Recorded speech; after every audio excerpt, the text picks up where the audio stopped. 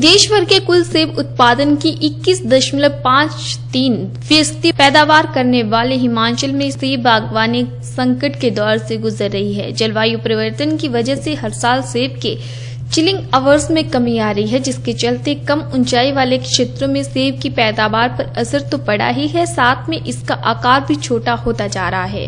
नौनी विश्वविद्यालय के पर्यावरण विज्ञान विभाग के मुताबिक, मौसम में बदलाव के चलते 1500 मीटर से लेकर 2000 मीटर तक की ऊंचाई वाले क्षेत्रों में सेब की बागवानी के लिए जितने चिलिंग अवार्जर की ज़रूरत होती है। वो मौसम में लगातार हो रहे बदलाव के चलते नहीं मिल पा रहा है, जिसके चलते इन इलाकों में सेब की बागवानी पर असर पड़ रहा है। वहीं इन इलाकों को विभाग ने सलाह दी है कि या तो वे कीवी व अनार जैसे फलों की पैदावार करें या फिर विश्वविद्यालय द्वारा अनुमोदित सेब की लो चिलिंग वैरायटी ही लगाएँ।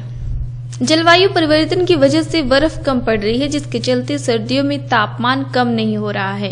यही कारण है कि तापमान में गर्मी बढ़ने से हर साल सेब के चिलिंग आवरस में कमी आ रही है, जिसके चलते 1500 मीटर से लेकर 2000 मीटर तक की ऊंचाई वाले क्षेत्रों में सेब की पैदावार पर असर हो रहा है। सेब को जितनी चिलिंग आवरस की ज़रूरत होती है, वो मौसम में लगातार हो रहे बदलाव के चलते नहीं मिल पा रही है। कुल्लू में इसका असर साफ़ देखा जा रहा है, जिसमें लोग अब सेब को छोड़कर अनार और कीवी लगाने में लगे हैं।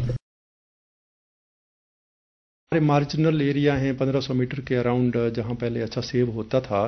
तो इन क्षेत्रों पे हमने पाया है कि अब बर्फ़ कम पड़ने से और इन इन महीनों में जो सर्दियों के महीने में कम बारिश होने से टेम्परेचर कम रहता है और कई बार हमारा, जैसे हमने देखा भी है कि वो हमारी जो विंटर्स हैं, वो थोड़ी बार्म हो रही हैं।